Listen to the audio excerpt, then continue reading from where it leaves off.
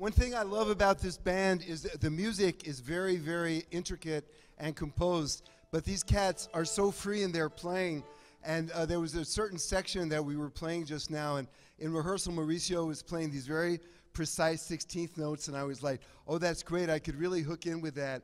And he was doing something completely different right now, which I love. So it, it, keeps it very fresh. But we managed to, uh, what do they say, uh, see you with the downbeat at the end.